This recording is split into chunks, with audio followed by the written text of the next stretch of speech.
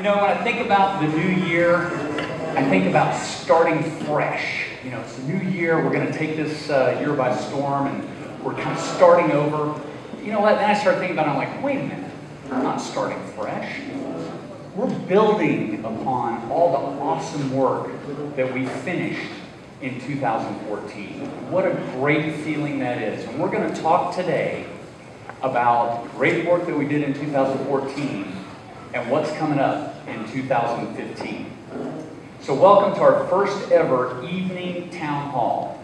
And I want to thank you guys for your willingness to stay late for many of you.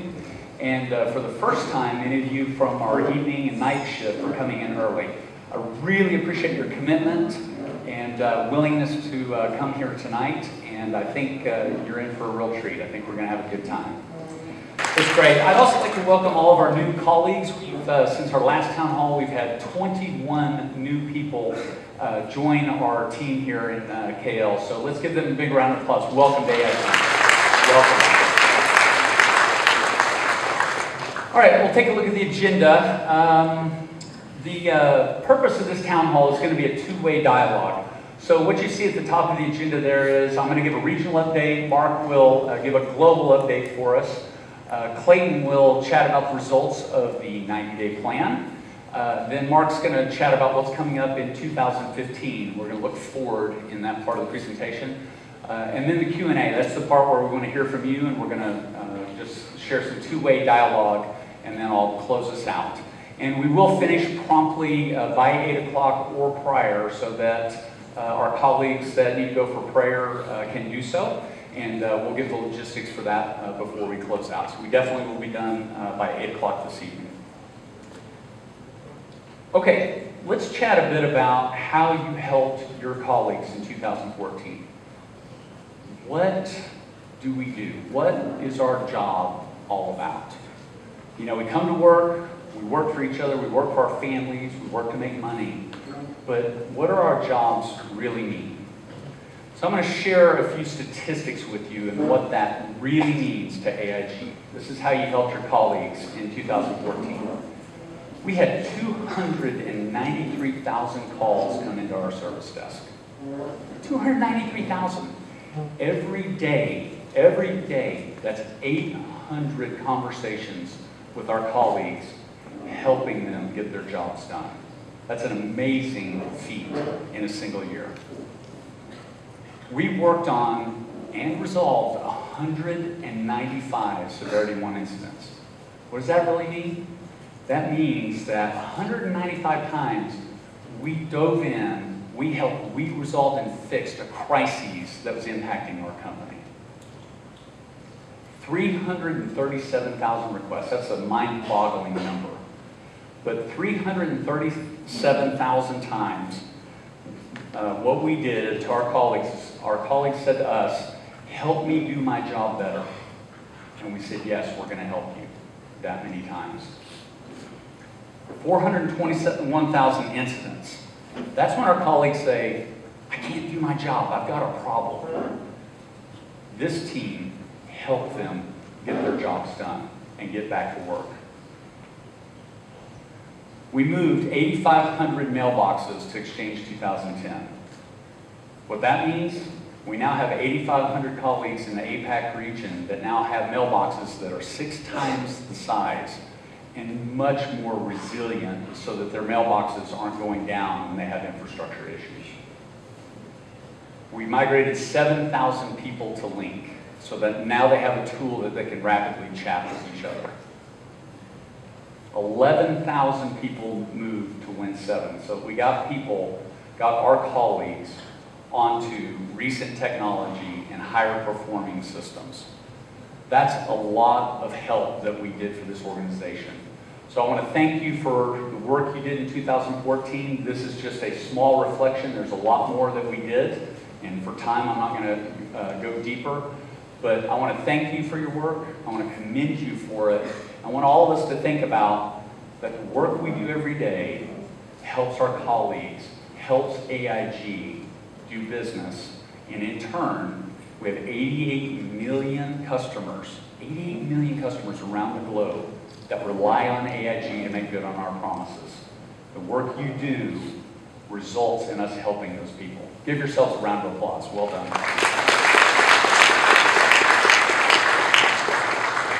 Well, soon after I started a few months ago, one of the first things I realized is that this group of people cares. You care about the work you do. You care about the people that you work with. You care about doing a good job. And you care about others. For the flood relief efforts, you were uh, the first AIG organization in Malaysia to reach out and help those in desperate. As I'm confident everyone's aware, over 200,000 people were impacted in East Malaysia by the flooding. And uh, just severe devastation there. And what you did is just amazing. You rapidly organized, put together an effort, and reached out to help them. Uh, we raised and you donated over 4,300 ringgit to help them. Uh, we pulled uh, another 3,000 ringgit from the charity pool, money that you had previously donated. And those funds were used to purchase uh, needed supplies, including drinking water, canned food, medical supplies, toiletries, stoves, and a generator. And then on top of that, not only did you uh, get all of that together, the volunteers drove over 10 hours to one of the badly affected areas to de deliver those supplies. So I, I'm thankful to be part of a team that cares that much and that's willing to help those in need.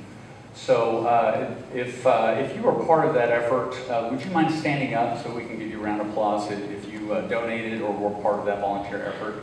Please stand up. It's okay. Stand up. Stand up. No, nobody wants to stand up. There, there we go. Come on, stand up, guys. You were part of that effort.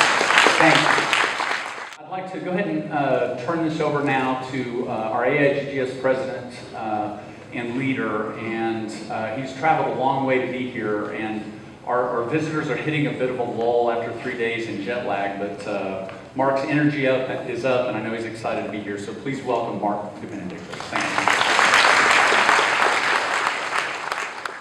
Um, I, you know, it's, it's kind of it's been overwhelming uh, for me to be here. Uh, you know, I've been here uh, now close to four years with AIG, and uh, I remember when and uh, who was here when we were in the other building? Raise your hand. Is this outstanding? I, I remember going to, going to the other building, and that building was one floor. We were tight, and you know how we did a town hall? We stood in the middle of the, the, the center, and everybody stood up and gathered around, and we talked to everyone. And I think we were about 140 or so FTE uh, 140 people strong, 140 people. So within less than four years, we're here. And you guys should be really proud about that and being part of that. Especially the old timers that got to see that transformation.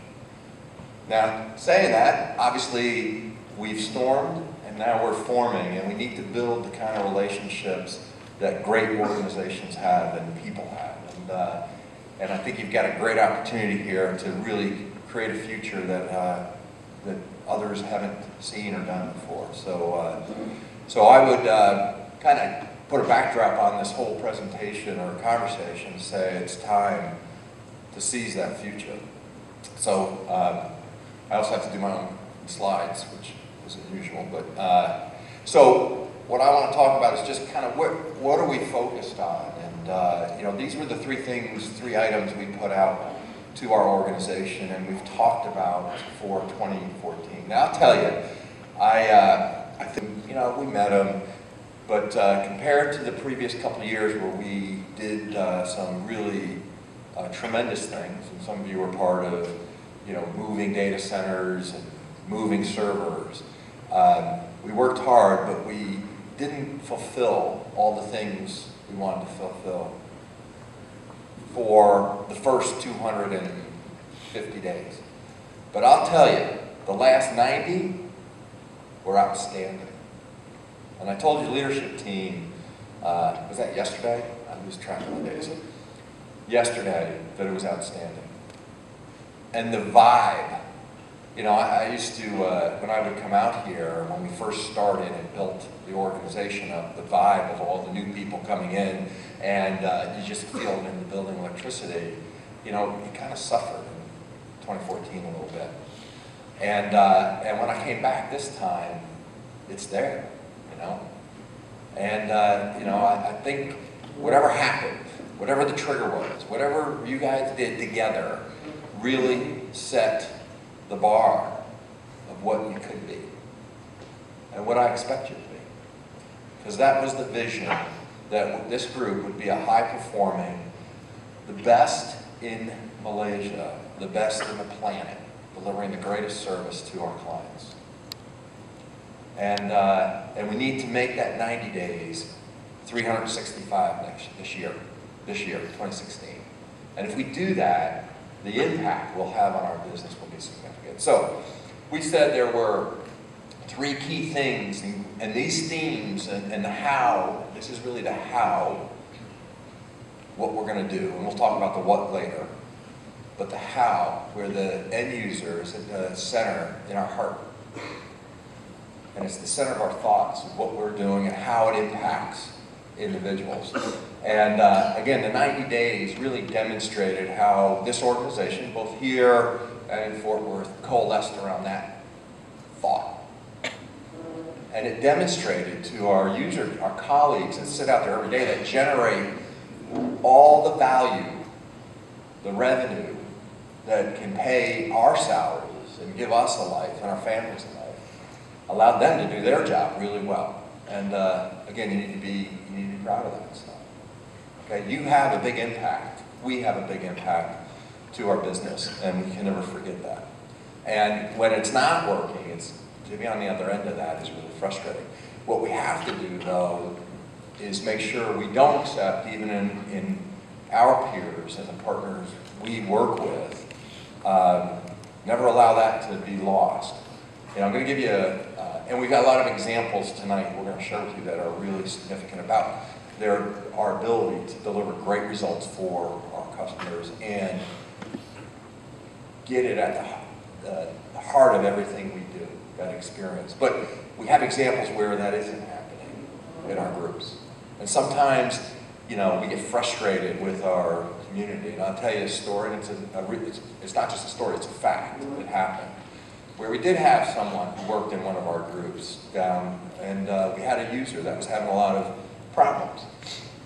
And uh, unfortunately, the individual uh, really didn't think well of that user. Thought them to be probably incompetent, they didn't know what they were doing, and, uh, and put that in writing. And actually put it in an email, ended up with the, ended up with the user called the user a dingbat. Now, uh, you know, maybe that's, when you think about that, sometimes maybe we all are dingbats. But the fact is, it was a derogatory and a disrespectful way. Think about the people that are struggling out there. You cannot let that happen. You cannot allow people within our group to think that way. Because if you were at the other end of being called a dingbat, how would you feel? Okay? So, it wasn't anybody here in this country but it was somebody in our group, and that's our brand that's out there. So users may frustrate us, and external things may make us uh, think poorly of someone. What we need to do is step back from that, even in society, and think about what, put ourselves in their shoes and what they're doing, and what struggles they're having, so they can deliver the, what they need to deliver to the, the people around them. So I will encourage you, that is as much about the kinds of things we do. If you feel and make sure you don't tolerate people calling people dingbats or our colleagues incompetent, that we reach out and understand how to help them. That's our job. And we as a group, and we as a, a, a company that supports our company, have, has to have a DNA and a culture that doesn't tolerate that kind of thing. Okay? So uh, as we think about 2016, we're going to lift that game and we're really going to get focused on listening to our users and trying to understand the frustrations they have. And we as leadership have to give you the support to get that done. Second thing was around collaboration and about working together. And again, I, I, tale of two stories. I think we were okay in 2014 for the first part. The last 90 days, the teamwork I've seen, I saw across, around the world, you know, here in Malaysia, connecting with Fort Worth to get a whole bunch of stuff done that had an impact was just, it, it was unbelievable. And uh, you need to feel really good about that. Like I told your leadership team yesterday, what a great way to start 2016. You got the wind at your back, and uh, and the future, you can accomplish anything, and you should. You should. You're that good. You should. In 90 days, you did more than we did in the whole 250 days. You had more of an impact in the business than we did probably for the rest. Not to say we didn't do a lot of work previously, but but it's not just about the work. It's about the energy you created uh, for the firm. So again, you, you guys really need to reflect on that as teams because if you can keep that feeling and keep that mo I called it mojo the other day. You keep that mojo, you will be seen as the best of the best. Mm-hmm. And uh, the third thing is really developing the best. And that's about, uh, you know, we did a lot of legwork this year on developing and putting in place the training and curriculums that we're going to need. I know 2015, um, those investments should start bearing fruit. So we're starting a, uh, a technical program for universities, uh, students, going to start in the U.S. And then by the end of the year, my goal is to have to bring it to uh, Malaysia and work with the universities here, and uh, to start really bringing university students into our ranks and the tar company. So, uh, so more to come on that through the year. It's really exciting. It's a three-year mentoring program to actually develop what I would say the next is the next generation into uh, GS and really create a sustainable model going forward. And we will ask you in this room to mentor those individuals. You know, young, impressionable, first job. It's a big deal. If some of you can reflect on where, when you started. When I started, it's scary coming out of school and changing and getting into something. Sometimes you think you know it and you really don't. And it does take someone to help you. And someone helped me along. And I'll expect this group to help them along. So a lot more work. We did a lot this year with the leaders, leading others, I think was uh, the group here went through. We did a number of assessments for uh, within the leadership teams and then all the way down. So really trying to progress some of the development aspects that we, we as a team need to do. We need to do a much better job next year, or this year, and, uh, and we will. So um, again, more to come on those things. A lot more, I think Mike, uh, Mike will talk about training later on, but, uh, but we got to lift our game in, in training and development skills and make all of us more valuable. You'll hear a kind of a theme through the year that we've got to get out of the level one task and get everyone up to level two and level three. You know, the intent of that is to make us all more valuable, both personally and professionally, but also have a greater impact to the firm. Okay? Um, talk about uh, a little bit of the what for 2015. So, um, look, about, uh, let's say about the three years ago, I pulled the leadership uh, out and we went off-site and said, we need to develop a strategic plan. And that strategic plan was put together uh, around these imperatives that you see uh, all the way to my right, okay? And uh, so there, we had a strategic plan framework. The problem, like everything, is, you know, leaders, senior leaders put it together and it never really represented our body of people. And so we're trying a few things that are different this year. We, uh, we put a framework together, but we actually, at least started Fort Worth right now, pulled employees out to start working and helping us really define our future. We will be reaching out and starting to include now uh, uh, you all in that process to fine tune the thoughts and really create, like I said, our diagram for the future and really what are the things we are going to do and make sure we understand those things as we look to 2015. Um, but as you can tell, you know, it was around uh, efficient operations, it was around thought leadership and alignment, and we, we have to start thinking about our work in terms of those imperatives, because everything we do should line up to those things to get us to the end state. And we've got to be good at connecting those for you and you helping us make sense of what should be in there to connect to those imperatives. So we think about this, um, you know, and I, I won't take much longer. There's some work that's going to be done with the organization. I know there was a couple questions that came to us before, and we'll deal with them in the panel about the organization and potential changes. And I'll say there's probably going to be two change, two kind of, uh, if I was thinking about a high level, two thematic changes that are going to happen. One, there will be some organizational changes because our customers or our colleagues are changing. Okay, so if you think about, we're not, we don't have property casualty anymore, we have consumer and commercial. So we've got to line up to those client bases. For our delivery organizations, which you're part of, there won't be much change. Um, because we've been constructed in a way that allows our, our colleagues and our clients, the people we have to interface with, change without changing our fundamental structure. Saying that though, there's work we have to do. We have not been good at defining the work we're going to do in various centers. Okay? So you understand what you're supposed to do, and you understand the kind of work that you're going to uh, connect with to, uh, to others. So in Fort Worth, you know, we were having a conversation had, uh, with Dell today, and we were talking about when Dell created the, uh, the facility I have over here, and just how there was a lot of knowledge. People from the states would fly in, and you get to know them, but that was the only connection that was that we had. And so when they weren't there anymore, no one knew who, to call, what to do, and we don't want that to happen. We want a real integration with the, your U.S. counterparts. And so each, not only do you know each other here, but you know them also and can work together. And you know what work's got to go in what spots. So there's no confusion about that, and you can help each other. So a lot more work in that area. We've got, um, there, you know, we talk about cloud, talk about cloud. There is work going on uh, around cloud enablement. And I, and I hate using the word cloud. What I want to use is automation.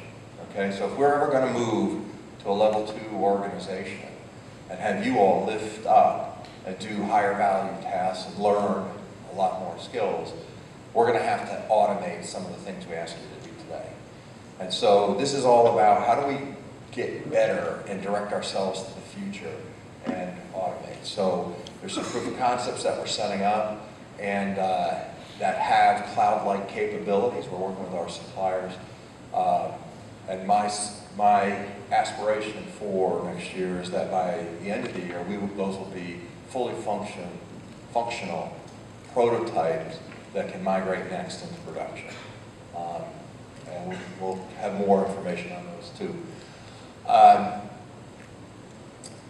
we talked a little about the te- Technology Career Acceleration Program. That's about university students coming in. Again, we got to have a culture of skill development. You've got to be curious because it's going to help not just us as a firm, but you as individuals. I want you to have more skills. I want you to have more of an impact on AIG. And you have the capability to do that. We, as the leadership team, have to give you space and time and help you. You've got to help us to think about what you really want to do as you move forward. Okay? But again, more to come on this program. It's about bringing in the university students now and starting to really grow our ranks. Um, the efficient operations, I'm going to leave to uh, Mr. Ellis to get up here, but a lot of that's talking about some of the key projects we've got to kick off as we continue to really bed down what I would say standard operations. It is important that we don't lose momentum that you've gained here in the last 90 days, but it's gotten us just to that level that we need to be to deliver day-to-day operations. Okay? So it is important that we focus on these, and there'll be projects associated with these that we'll be working on, but uh, that that is, uh, that is, uh, we don't go back. I guess is the, what I want to leave you with, and I told this to your leadership, we can never go back to the- what it was prior to the 90 days. And again, not that it was horrible, but it was okay. And we're not okay. We are not an okay group. We are the best of the best. Okay? Are the best of the best, and you've got to think that way, and you gotta wanna be that way. Because if you don't, we're gonna, we're gonna move on. Okay? But that energy that you have has got to stay in place. It's huge, it's huge, and it's a huge testament to your skills and ability. So, like Phil Fasano, who's our new CIO, you heard him, took over uh, Bob- Robert Dickey's position. Um, It was a little bit different before. Uh, Phil reports to our CEO, Peter Hancock, and, uh, and this, he just made an announcement, this is the organization that was announced. So what Phil did is really try to align to what's called the OPCO, the Operational Committee, which is Peter Hancock and his direct reports. And uh, if you've watched any of the information flowing, Peter now has reporting to him the regions directly and also the heads of consumer and commercial. And then obviously the support groups, including the CIO. Now, one of the big notes here, just so you know, it's different than Robert, the CIO actually reports to the CEO. Uh, Prior to this, the, the CIO or head of operations and systems actually reported to the CAO, which is one layer now. And the intent, Peter's intent, is that technology will change the future and it's critical to our success. Phil Fasano comes in, was the ex-CIO of Kaiser Permanente, and a big advocate of technology changing the game. And uh, I think there was a question on the book he wrote. Um, he did write a book uh, about healthcare transformation, very focused on uh, mobile everywhere. Uh, just kind of give you a view of him, because you'll see him next week. No, he doesn't have a laptop. He came in, he, he has an iPad mini and an iPhone. That's all he needs to function.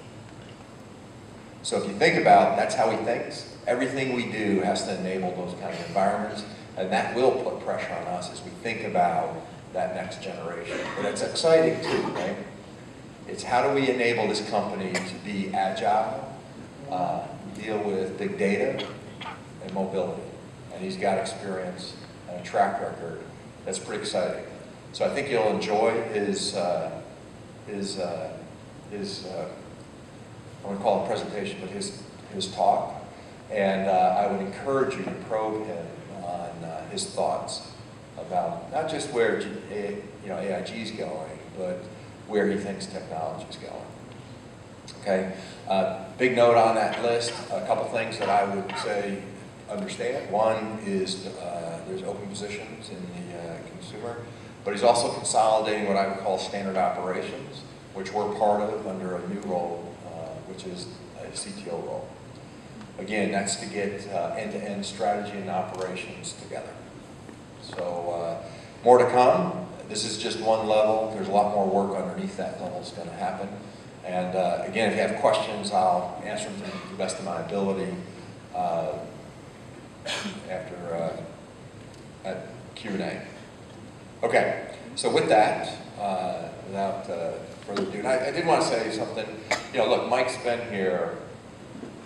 You know, he keeps saying every time there's a problem, I just got here. Well, you've been here now for uh, six or seven months, and I think I think you know, obviously, I'm pretty excited. I think it's a great addition, uh, but uh, he is uh, he's from Texas, so you got to give him a break. Okay, so with that, I'm going to turn over to Clayton, and uh, thank you. Right, uh, good evening, everyone. So, uh, pleased to be here again. Uh, I was here a few months back and we talked about the survey.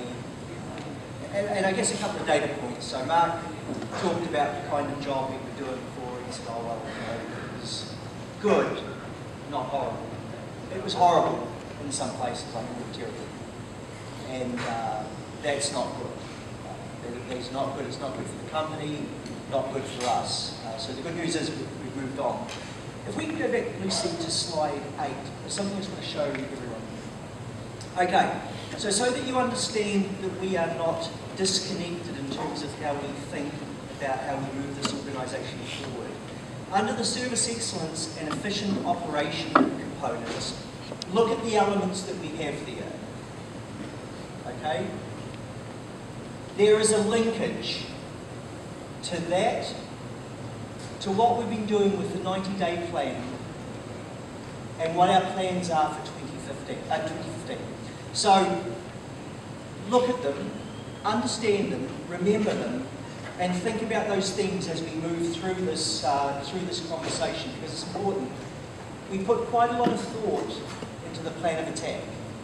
So it is not by accident that things appear there. This, we, we have a planned strategy for this group, and we're going to execute to that strategy. So if we can roll forward to uh, these things. Okay, so coming back to the horrible piece, uh, we, we conducted the survey, and I took you all through this. We had, uh, we went out to, to uh, five countries, uh, and we surveyed about 40,000 people. We got 13,500 responses back. And with that, we also got 10,500 written responses where people took the time to tell us how we could do our job better. So they, they gave us some rankings and uh, in some cases it was okay, and in other cases it, it was horrible. Um, and with that feedback, they took the time to tell us how we could do it better. Okay, so that was really important because rather than saying, you guys stink, they were saying, look, there's work you can do, and here's some suggestions on how you can do it better. Okay, so, so, so the company wants our group to do better. So we take, we take that on board, and, um, and with that, yeah, some of it was a bit of a shock in terms of the extent uh, of the underperformance that we had, and some of it was expected. We knew across the VDI environment, for example, on that legacy VDI environment, that there were challenges with it. We, we'd heard about remote access, we knew that we had XP computers out there, there was, there was a lot of stuff that we knew, but equally, we got slammed. We got slammed on the service desk, we got slammed on ticket management, and even though we'd talked uh, a lot about quality over the course of the year, we have not been consistently delivering quality. Uh, perhaps we, we, didn't understand to the extent that we were inconsistent uh, with that service quality. And so off the back of that uh, shock, uh, you know, I, I, I, put together a construct with which I thought uh, we could quickly address those performance issues, that we could rally the troops, get everyone focused, and, uh, and, and address those fundamental concerns before somebody else uh, addressed them with us. And, and that's never a good thing. So, especially when it's your boss or your boss's boss who's telling you how to run the organisation. So, Mark wasn't sure, uh, I don't think he necessarily bought in 100% of the plan, but I was absolutely confident uh, that with things that we, you know, that we integrated into that plan, that we could deliver uh, a materially different user experience in a very short period of time. But it was going to be a concerted effort, and we and, and we had to get on with it. And we needed everybody in the group to be committed to it uh, for us to, to, to realise a result. Now, my, my expectation was that we would probably get most of the way there uh, across that plan and I knew that we had some items in the plan that would take, uh, take longer than the 90 days to get done. And so we're at the 90 days, I think it's day 91 actually. And so uh, if we could go forward to the next slide. We, uh, we, us, our group, we kicked butt. We seriously, seriously got it done. It is the most tremendous turnaround I've ever seen. And I've been doing this stuff for a long time. I, I might look uh, quite a bit younger than Mark, um, but I'm not. Uh, and, and, so I've been doing this for a long time. Uh, and, and I've never seen a group rally in the way that this group did, our group in Fort Worth, and every other person. We, we, we reined in people, admins, everyone into, into the mix. And we had everybody working on on the challenge, particularly around the ticket management piece. And the result has, has been amazing. The feedback uh, that we've seen across the board from, from users, uh, we're seeing some of it flow into the CSAT now. Uh, it, it's just been tremendous. And I, I was telling the group yesterday, uh, even my admin, I said, look, I'll, I'll look after myself. Can you, can you start calling people and, and helping them with their tickets? You know how to use ServiceNow. And uh, so she ended up being, uh, of, the, of the group that we reined in, she was the second top ticket closer. And she was so proud of herself. And, uh, and, and, you know, the fact that she was speaking to our customers, and they were so happy to get a call from us, for it to be closed out, to have somebody say, is there anything else we can do for you? Okay? And so that has really, I, I think, really driven uh, a material uh, perspective change about this group across the board. Uh, and the reason for that is that if we, if we move on to the next slide, when you look at, when you look at some of the statistics that we're, that we're putting up here, um, so we had, a, we had a backlog of about 12,000 tickets, okay? 12,000, that's a bad number. We cleared all of them. So 12,000 people who were waiting on stuff got their stuff. We had 800 plus users who were waiting on software installs. We cleared all of it. We cleared all of it. I mean, it's absolutely amazing statistic.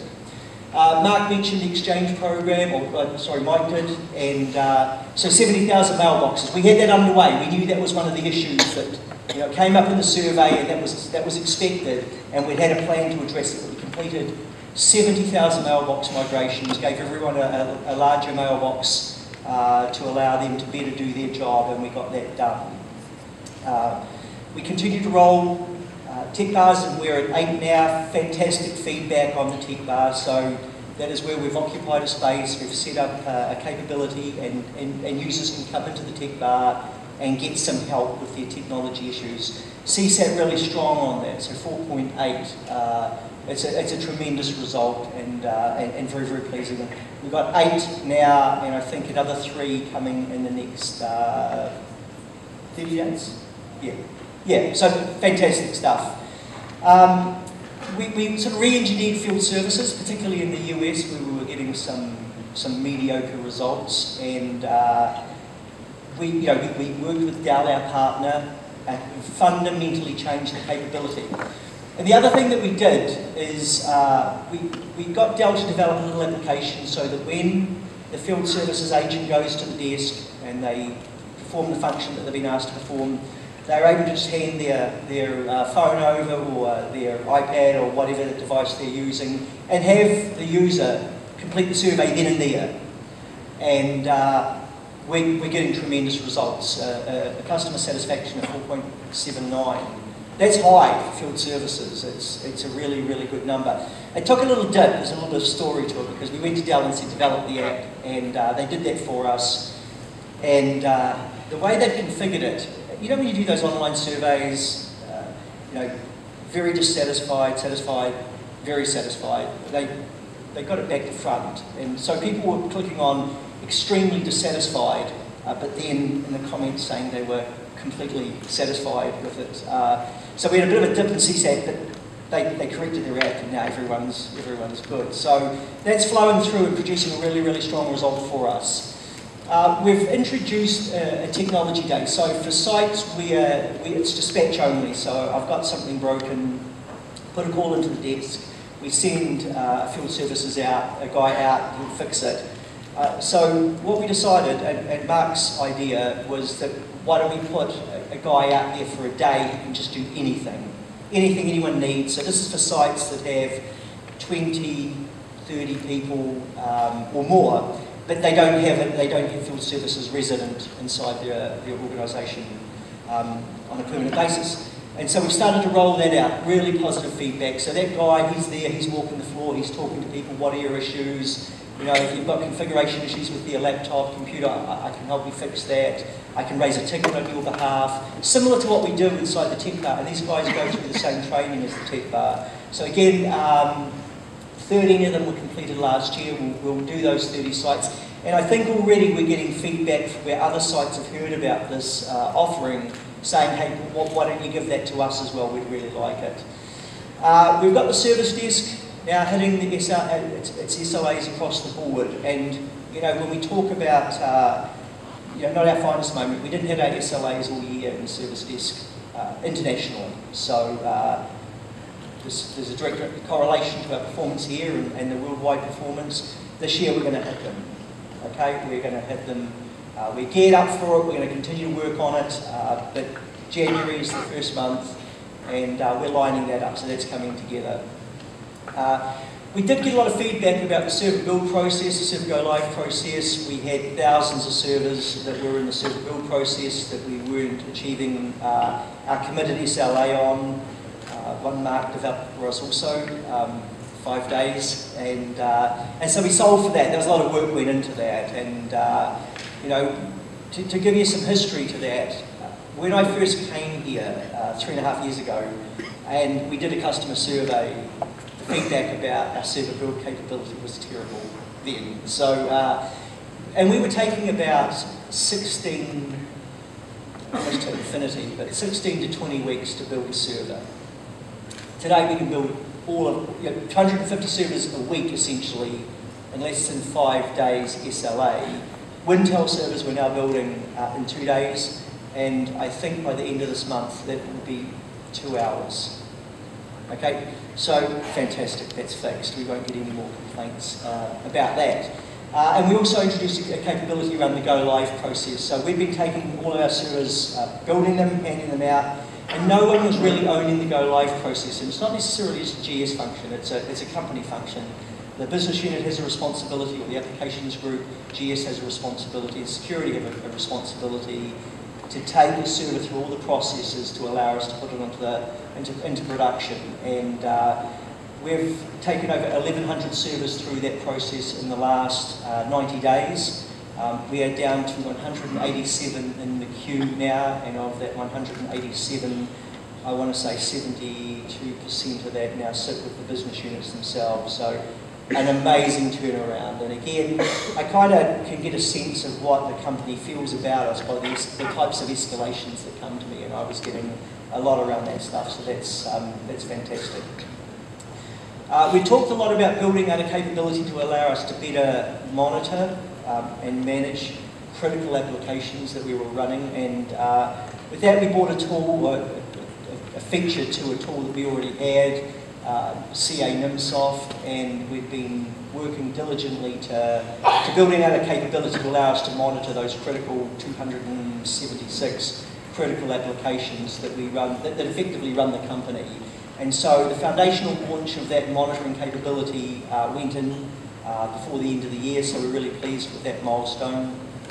Um, we, la we launched the, the AirWatch uh, mobile offering, so some of you will be familiar with Good. AirWatch is, uh, again, on Mark's recommendation, a far superior product.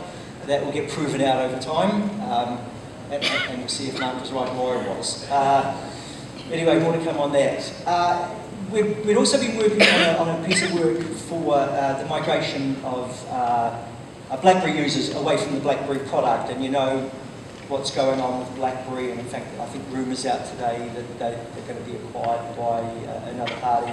Um, and so that represents some risk for our operation. And so uh, we've been trying to spin up a capability to replace 5,000 uh, Blackberries with iPhones, and uh, so we launched that now as well. And uh, the stat that we've probably got here is a little old, but within the first few days of the, of the year, uh, over 650 devices have been swapped out, so fantastic with that. Uh, we committed to ourselves to get all of our Windows 7 migrations completed, and we, we knocked that one over as well. Uh, and the most staggering statistic that we've got here uh, tonight is that when we started the 90-day program, we were at 53% breach of SLA on our tickets. It is a bad number. And so our target was to get to 5% by the end of the 90-day program. And at the end of the day, we got to 5%. So just yesterday we got to 5%. That is so awesome. Can you imagine the difference that makes? So, why put all those stats up about the things you guys did over 2014, all of those volumes? Well, in the last 90 days, you did those volumes perhaps like better than you've ever done them. I mean, it's tremendous. The difference this makes to people's lives. To getting stuff done, to, to be able to do the business of insurance, because we are doing the fulfillment in accordance with the commitments we made. And so we're knocking it over. Fantastic. Honestly, I, I, I thought with about 20 days to go, uh, and so I, I, was kind of thinking 9%. Um, so we, we reached the 5%. So awesome. Thank you. Uh, it's, uh, and, and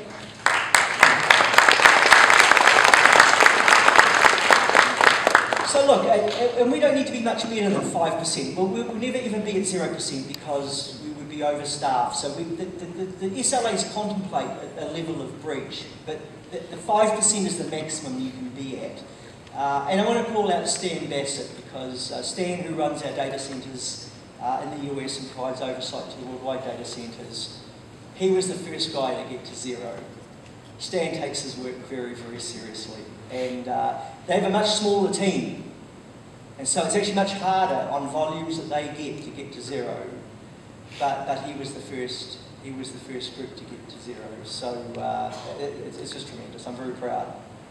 Um, you know, we did some other stuff. Uh, the catalogue, we got feedback. We've done some material improvements around that. People said your catalogue stinks, it's too hard to figure out, and, and it's absolutely right. Uh, now, there's, there's aspects of the catalogue that are ours, and there's aspects that you know our other colleagues in, in, in technology own. We've got some work to do there, but we've started to clean up ours.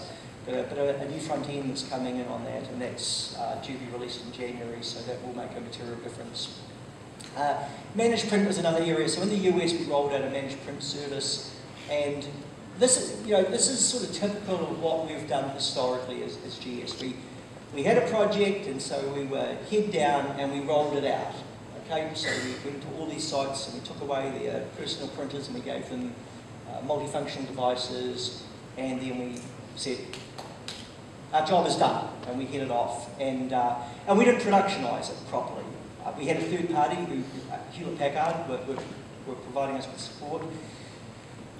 And so, you know, as, as, as time passes, the, the service deteriorated. And we weren't managing Hewlett Packard properly, and they weren't doing their job properly, and end users were really miffed about the quality of service that they were getting from us. And so 367 printers had to be replaced. Out of, I want to say 1,200, uh, 1,200, 1,300 printers. It's a bad number, okay? And so uh, we were able to address that. We've now fully productionised that. It's fully baked. That will never happen again. But it does, it does speak to what we as a group need to do better. And that is we must operationalise every single thing that we do.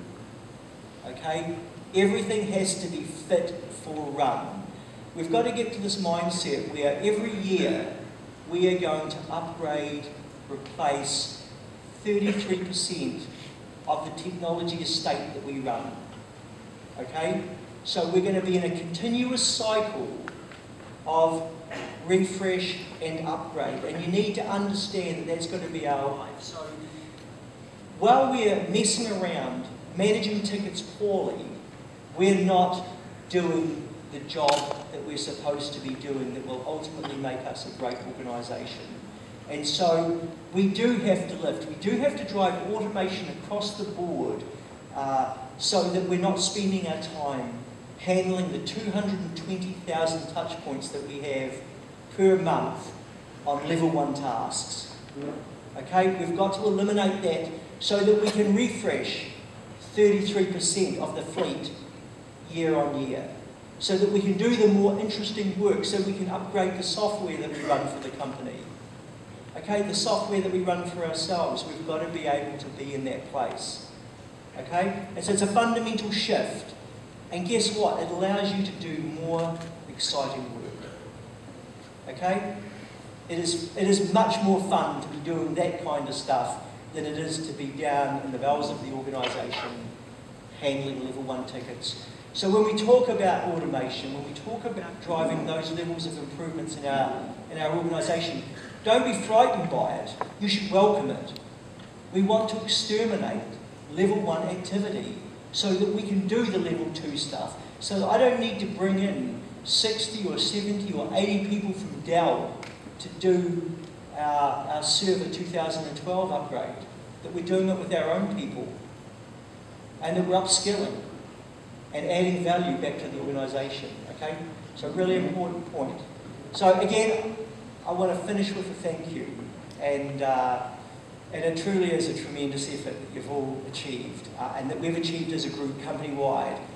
And the benefit of that is going to be felt uh, across the world. So uh, you must give yourselves a round of applause. All right, um, I think I'm going to invite Mike back up on stage. Is that me? Hello. Okay. Okay. Thank you, Clayton. Um, yeah, exciting, exciting stuff. The 90-day plan. Well, uh, we want to do. Uh, we want to recognize some significant uh, contributors uh, to that program. So everybody here today has had an impact. There's no question, and the stories uh, that I heard and work that I saw, it was just awesome over the last 90 days. And I, uh, it's a little hard to single out just a few. We will, but all of you uh, deserve the recognition. But we, we had a few folks that uh, made significant extra uh, contribution uh, that we want to uh, recognize today. And these individuals had the end user at the heart of everything we did and demonstrated how, how we work as one team, the connectedness, the uh, working together. And uh, each of them sacrificed personal time, family time, uh, to do extra to make this program happen. And so uh, we're going to recognize these folks. The uh, cup that you see up there from Royal Selangor, uh, we're going to present them with this cup that they can proudly display in their home or in their office. Uh, so it's a Royal Selangor pewter tumbler, and the knot uh, that you see surrounding uh, the cup at the bottom there, it's inspired by Japanese knotwork, and it's an, a symbol of affection, of warmth, and I think most importantly, togetherness, because that's how we work here is together. And it's a reminder how we work together over the last 90 days. So um, I'd like to invite the following people up on stage now, and let's give them a big round of applause. They are Raymond Simon, Dwayne Jennings, Fareed Nasri of Blue, Amy Crooks, and Tamara Ayala. Come on up. Come on. Are they here? you gotta come up. There's Fareed. I see one. Come on. Come on. Okay, there they are. Come on, guys. Raj, Nasri. Yeah, come up. So as they're coming up, thank you. Uh, as they're coming up, let, let me uh, uh, just talk a little bit about them. So I'm going to start with uh, Raymond. This was a lion's share of what we were doing. And I remember sitting down with Raymond and uh, saying, okay, Raymond, uh, matter of fact, you talked with Clayton after the last town hall. And Clayton said, Raymond had some ideas, and Clayton said, I need you to lead the SLA improvement. So the next day, Raymond sits in my office, and he's like, I'm ready. I'm ready to take this thing on. He said, what am I going to do with my current job? I said, congratulations, you get two jobs. so, uh, so Raymond kept his duties, and he had some help with that, but he kept his duties, and he took on the SLA program. Uh, many of you interacted with Raymond throughout the program. And not only did uh, he get us going, the metrics, the trainings, the tracking, all that stuff, but he also came up, he was the uh, engineer behind the idea of not only do we got to do our SLAs, we got to do them with quality. And so he came up with a quality tracking program as well, which was then taken and uh, started right here in Malaysia and is now rolled out globally for uh, AIGGS. So uh, Raymond, congratulations, outstanding job. Let's give a round of.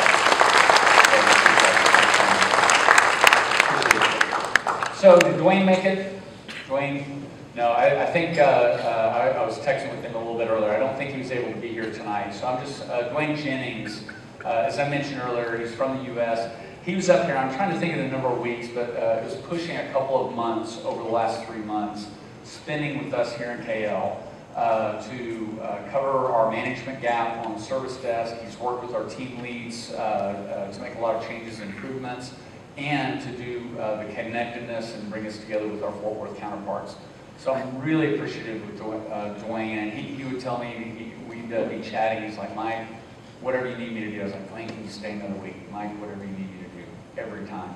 And he stayed here uh, and was just made a real big impact on our operation. Let's give Dwayne a big, big round of applause. So uh, next is Fareed, Nasri, and Taruf. The three of you would uh, come over. Fareed, Nasri, and Taruf. Come on over. So, uh, yes, there. So, uh, uh, his, uh, uh, let's see, Fareed and Nasri and Taruf could- couldn't make it. He's on step one. Oh, he's got a sub one. He's, resulting in sub one. So uh, he's doing the good work. So Fareed and Nasri here, well, these three groups, storage, web services, and Unix, uh, were our top three groups performing. And they're representing their teams here. Yeah, awesome. And I'm not representing the leaders, but also, we're, we're recognizing those three teams uh, for truly outstanding work. So uh, the top three groups, and that's, by the way, top three, not just SLA attainment, with quality, which uh, when, when I was looking at the metrics every week, these three teams were exceeding every time. Awesome. So uh, True's storage team, uh, True's over working on the set one, uh, had a 40% improvement on his request SLA fulfillment. So, and that, that happened shortly after we started the program. He dug in with his team. Uh, Fareed, in addition to your role with web services, uh, just a few weeks ago, uh, uh, and web services is always nailing it and doing great on SLAs. We asked Fareed to also take on our Citrix team, and he's already started applying some of the great uh, work that he's done on the web services team. So he got two jobs as well, so I appreciate that, Fareed. And then uh, finally, Nasri uh, managed to reduce our ticket polluters from over a thousand tickets to less than 200. So in addition to the awesome work, he also reduced his volumes. Gentlemen, great work. Congra- Congratulations.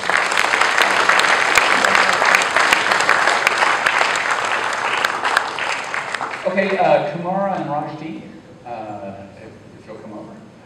Just, I'm sorry. He's not here, okay, no worries. So uh, they, they started uh, on the service desk and went with Dwayne here. Uh, he came to you guys and said, would you start managing our, our uh, shifts during the day and the weekend shifts and make sure we hit our SLAs? And what Dwayne was telling me is that every single day he would come in and these guys would turn over and there wouldn't be a single red SLA on what they were turning over. So when, when they started managing it, it transformed and those teams, their performance went way up. Outstanding job, thank you. Okay, and finally, Annie and Chris, if you, if you guys will come over. So uh, from our service management team. So uh, Annie uh, assisted in rolling out the quality ticket management training uh, which was a, a huge effort. I know many of you uh, were uh, part of that, but Annie was a huge part of getting the quality program rolled out, which is now done global.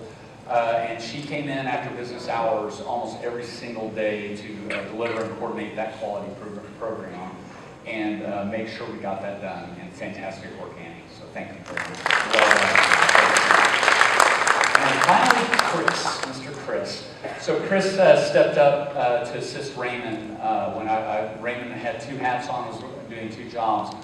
Uh, Chris took on additional work to, uh, in addition to his regular role, to run the service management team and provided a lot of the back office support and driving the metrics and really making uh, the coordination across the 90-day program. In addition, not only did he do all of that, but he's the proud new father of twin babies. So, so we, we've had many sleepless nights that they were born last week, I believe. Yeah, so, so he's very tired. He actually is coming off his paternity leave to, uh, leave to join us this evening. So congratulations. Well done. Great job. Uh, so uh, all of these folks, they represent, and they are representative of the teams that we're all here. Couldn't be prouder. Thank you and well done. Let's give them a round of applause.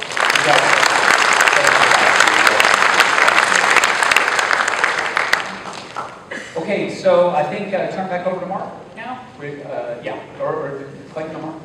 Clayton, sorry. All right, thank you. I believe it's Clayton. Okay, all right, so we've got it, we can, uh. Okay, in terms of our uh, operational uh, objectives, what comes beyond the 90-day plan, uh, it's more of the same. It's, it's more excellence, it's more great service, it's more focus, and it's more neighbourhood, okay? So, what, what we're going to make sure that we do and this is how we get to the next level. We're going to, we're going to make sure that we hit all of our SLAs with quality. Okay? And no exceptions uh, for us on this. This is something that we have to do. This is what we get paid for, and this is what we're going to do. So we've been good on the availability SLAs and not so good on some of the others. So we're going to tighten all of that up. Okay? Uh, the desk, we're going to nail it. Okay, going forward, we're going to nail it. We're going to be consistent and we're going to deliver a great performance. Uh, our field services, and, and there's a theme here. These are all the touch points to the customer. Okay, and with that, uh, you know, that end user experience, the confidence will come back quickly. Okay, the frustration will be gone and the confidence will come back. So we're going to nail that. We're going to deliver some uh, some new services around self-service and automation to make it easier to do business with us, okay? And then we're going to really go after the legacy VDI environment, okay? And because uh, it's, it's going to be with us for some time, unfortunately, and we've been investing heavily in a new environment, we've got to get the, we've got to get the old one working better than it has been. And so, you know, with that holistic approach that we're taking, we're going to be able to really materially improve the end user experience okay? Front and centre of everything that we do. And so the stuff that we've talked about, you know, the, the, the end user being at the, at the heart of everything that we, you know, that we do, we've got to start believing that. We've got to make sure that that interaction that we give people, the service that we're giving people is the service that we want to get ourselves if we were, if we were paying for it. So think, think about that. If we were paying for it. The people at the end of the phone, these customers, they pay for our services. We are a services organisation. And so if we can continue the good work that we've been doing as a group, continuing to collaborate, continuing to stay focused, continuing to live, deliver outstanding service, uh, I mean, we'll, you will get the recognition that you all deserve. And the next time that we do a survey, it will be a completely different result as we look to deliver the value. All right? Really important. Now, the final piece is uh, we've set up some metrics um, that, are, that are, we're going to use to measure. These are going to become your goals for 2015. We don't have time to go through them all right now, but clear measures that are meaningful to each of you. This is about how you do your job. So we've had higher level um, metrics in place previously. We wanted to make it more granular this year so that you understand it. All of you need to know what your service levels are. All of you need to know what your job is. All of you need to know what defines success for you in your work. And it's your manager's responsibility to ensure that you understand it. And it's your responsibility to ensure that you understand it. And with that, you can be successful. Okay? That, that can drive your RPR rating, that drives the money that you earn. Okay? And it drives your success and it drives to your next job as you move up in our organisation, which is really the land of opportunity. It truly is. Okay? So, again, I won't go into the, the full detail of this. These objectives will flow to all of you. They will become your objectives for this year. 50% of how we rate you is off these objectives. We will lay the objectives that Mark gives the entire organisation on top of that, and that will make it up. Okay? But it will be clear what success looks like. And the great news is, with the work that we've done on the 90-day plan, we're able to track now at a granular level that we never could before. Okay, we're a new organisation. It's taken some time for us to get to this level. Now we can, and we will never ever uh, go back to where we were before. We will see by week, by month, where our performance lapse, uh, lapses, and we'll address and remediate. If you need help, reach out to your manager. If that doesn't work, reach out to Mike. We're here to help you be successful, all right? If you have ideas for how we can improve the operation, send it up the line, send it to Mike, send it to the capability lead, send it to me. We want to do a better job on a consistent basis. The foundation's been laid now. So there's no excuses for us. 26, uh, 2015 is ours. And we're entering it into it in the best shape that we've ever been in as a group. All right? So please keep up the good work and, uh, and the results will speak for themselves. All right? Thanks. I'm handing over to Mark. Perfect. All right. Thanks very much.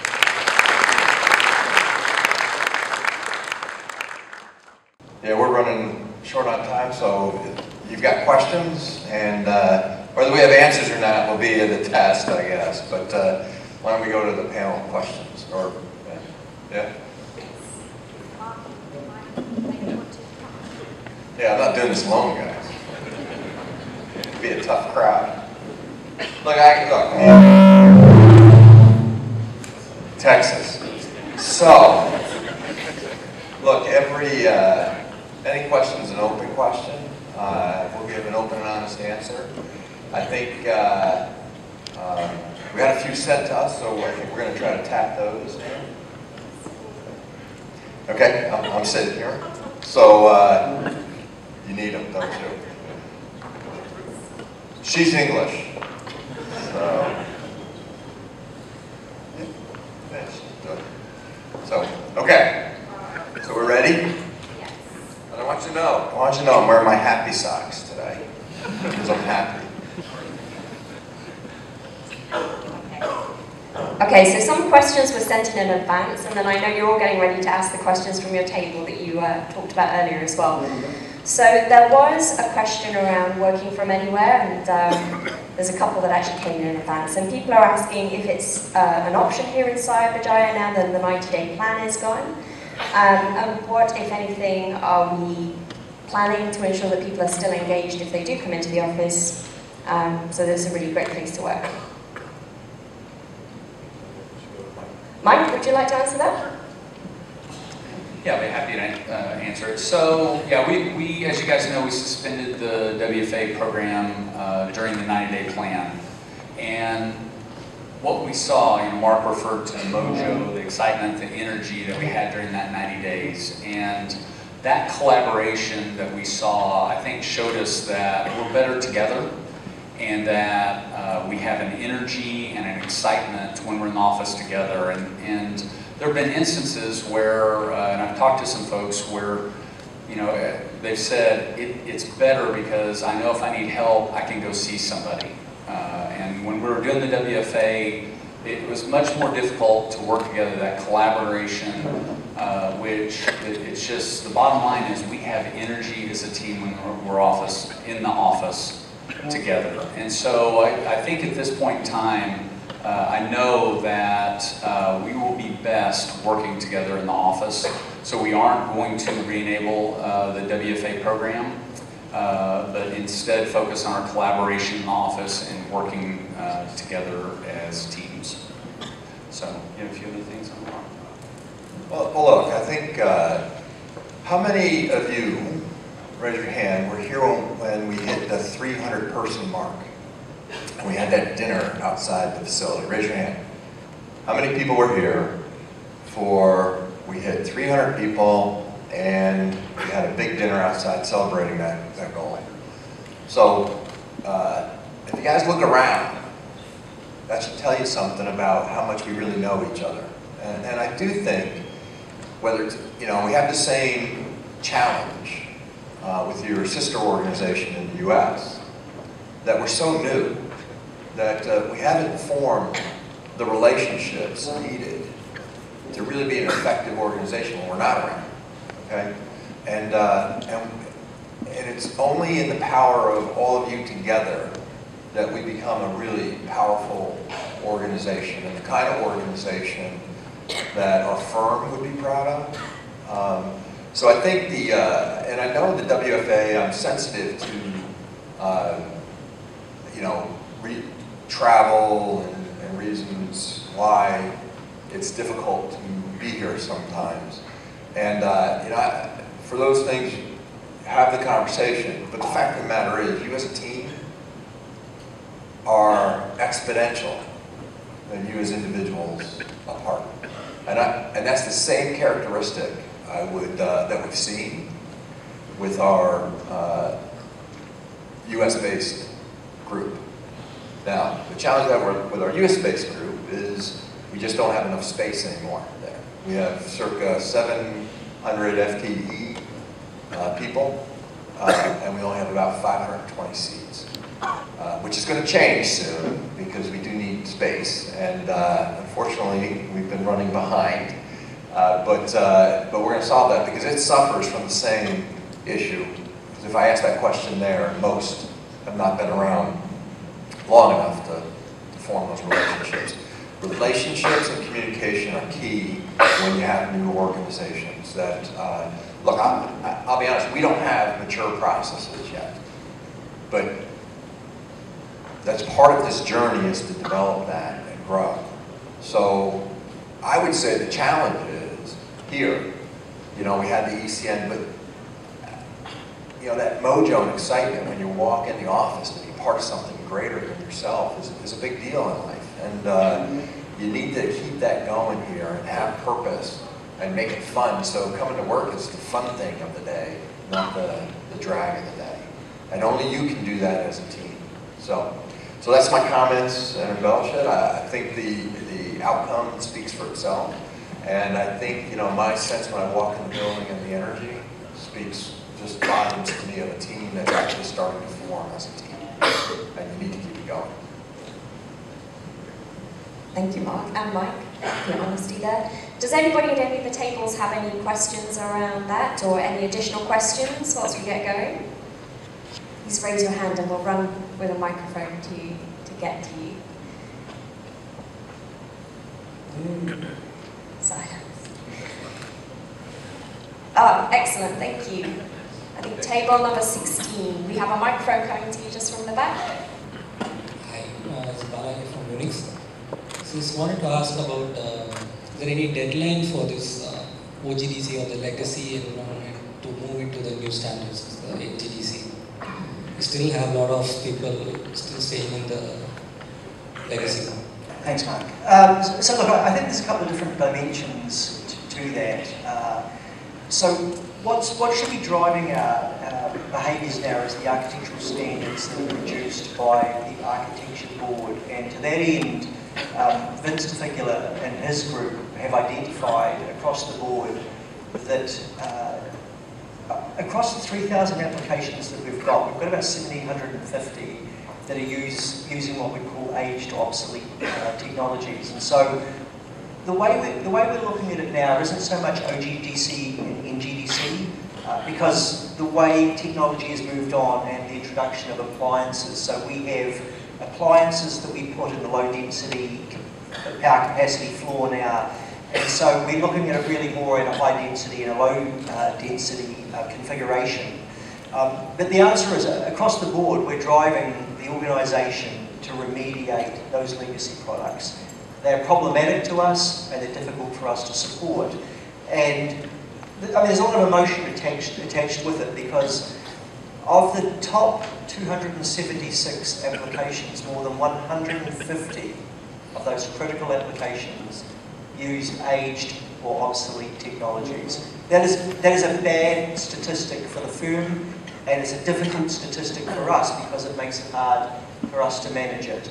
So we spend a lot of time in, in, in New York having these conversations, trying to drive the organisation and I, I kind of hope that with Phil coming on board and with his very, very strong orientation towards the business and business performance um, and ensuring that the configuration of technology is fit for purpose, that that will help us on our journey to, to, to get rid of some of that. Uh, we had a number of commitments from business units across the board to remediate uh, their applications and they haven't met those.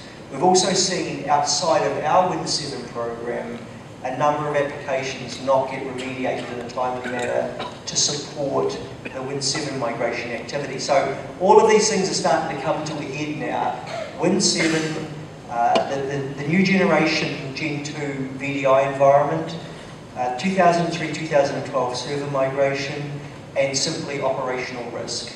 And uh, so I think that's going to become a, a bigger focus area uh, across the board and to the fullest extent that we can. And I can tell you these are very passionate discussions that Mark and I have with uh, our CIO and our BIO counterparts about getting this stuff done.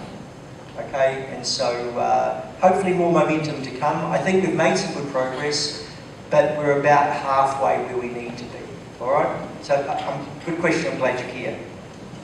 All right, thank you. Um, so any other questions in the room? Burning questions coming up? Everybody laughed. You know, the, the comment was frictionless. I want us to be frictionless. And, you know, I likened it uh, to a symbol, and I called, I want to be the duck, right? I want AIG to be the duck. And you know how a duck glides on the water nice and easy? And on the top, it looks really easy. And on the bottom, we're pedaling hard. My view is we're the ones pedaling hard underneath while this company just glides. With this legacy technology, we are gliding. and, uh, and we've got to get rid of it. And that's where, uh, that's where the passion and the conversations, but it's hard. It's, uh, it's not only, it's not just about the money, it's about the complexity and the impact to get it done, and, uh, and it's hard. Saying that, I do think there'll be renewed commitment to address those.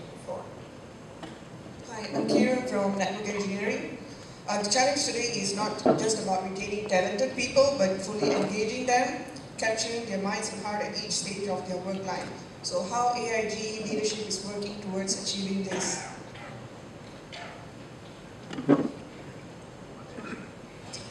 I'll, take part of it and then others feel free to chip in as well. Um, couldn't agree more. And um, I think there are a number of things that we have going on and we need to get better at and develop more. I know here in um, KL you have the Sports and Social Committee, um, and we also have the Employee Champion Network, and Fareed, one of our prize winners today, um, heads that up for us here in KL.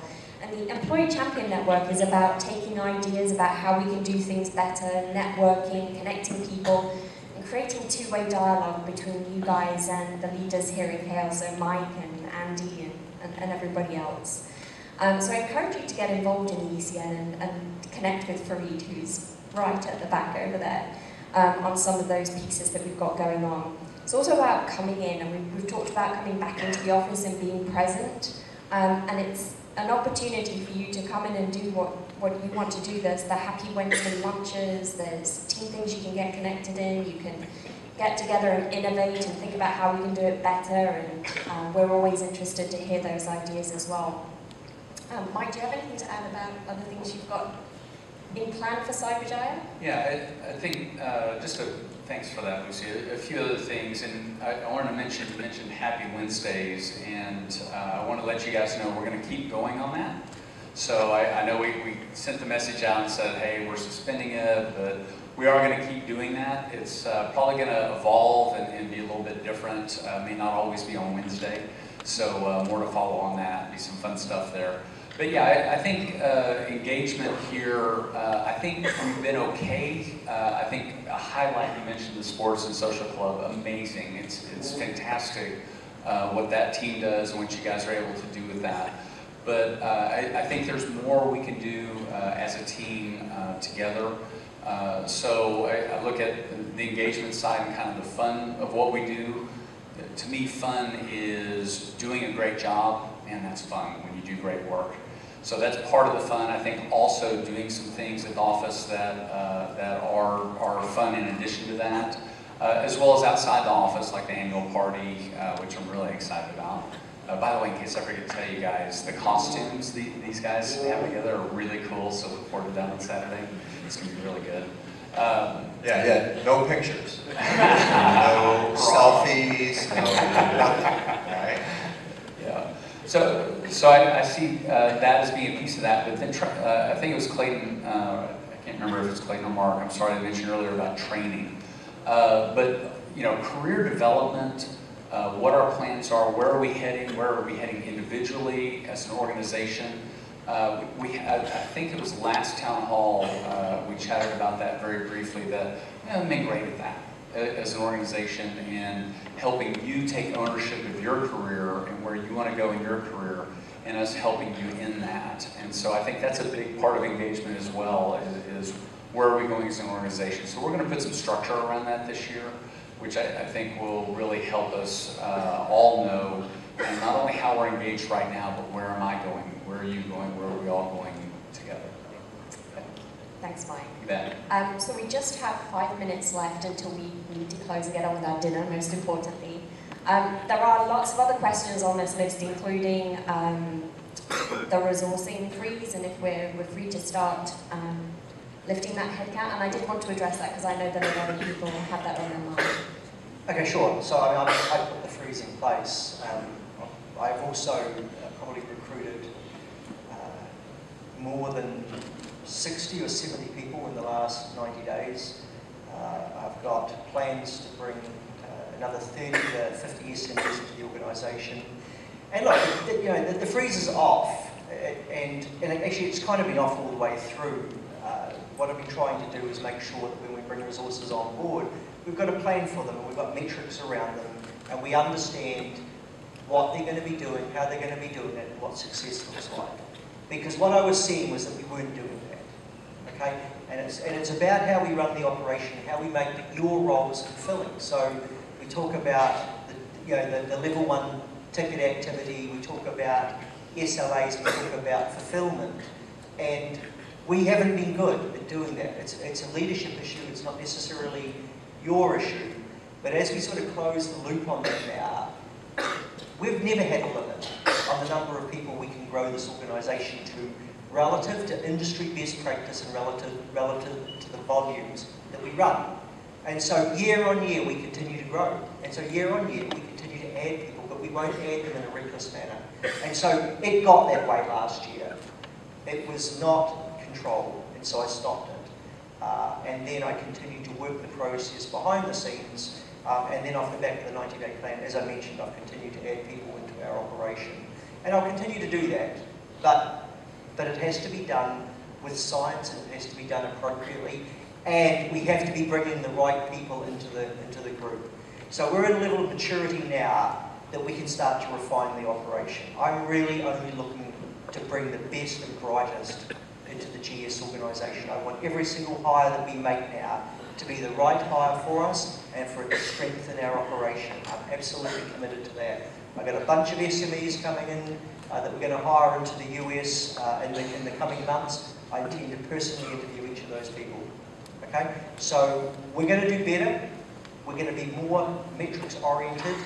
With the checks and balances we've got coming in place as a result of the 90-day plan and the reporting that capabilities we've got there, there can be a direct correlation between our growth, volume growth, um, and, and our headcount. So we should be in good shape. Okay? Yeah, let me, uh, so I get to sit over this and watch sometimes, and uh, look, I, there probably were, uh, uh, what's the word I'm looking for?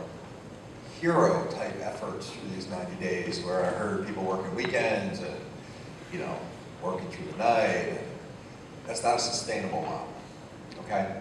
And my expectation is that we need a sustainable model to get sustainable results.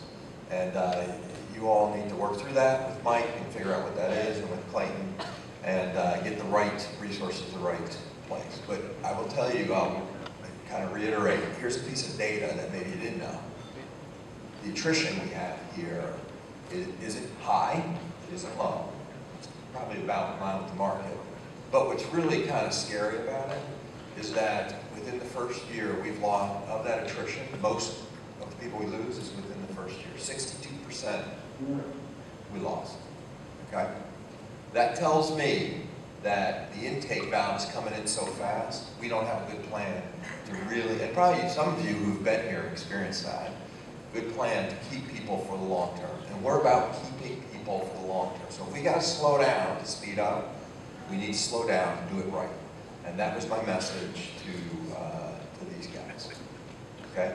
But we're gonna be measured from the market, We've gotta be efficient, We've gotta find new ways to do things, but we've got to bring people on board and grow efficiently. And when you get really big and you're fighting fires, sometimes the worst thing you do is throw more people at the fire.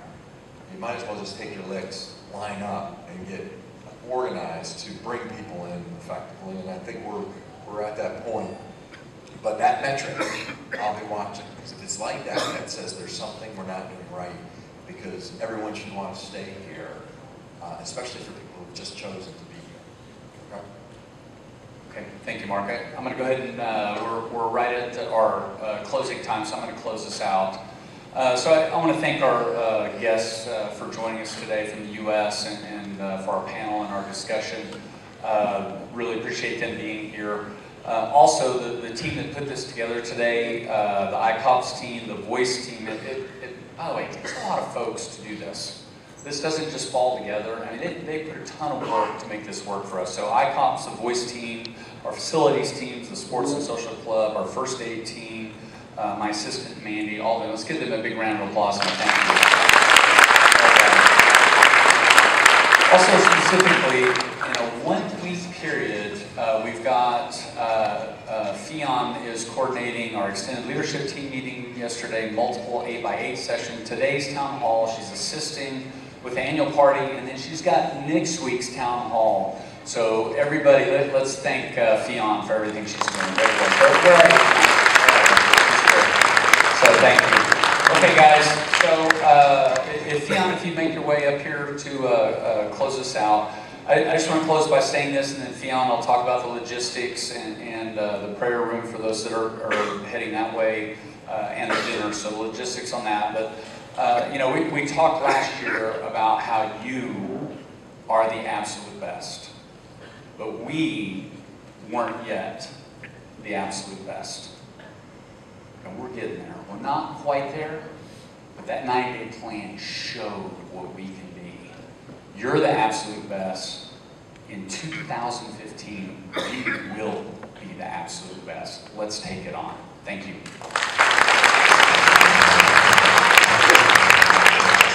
Alright everyone, we're gonna do a group photo again. So I just ask all of you to stand move to the front stage here with the photographer up at the balcony. So if I can just ask you quickly do before the Maghrib prayer ends. So just move up to the stage here.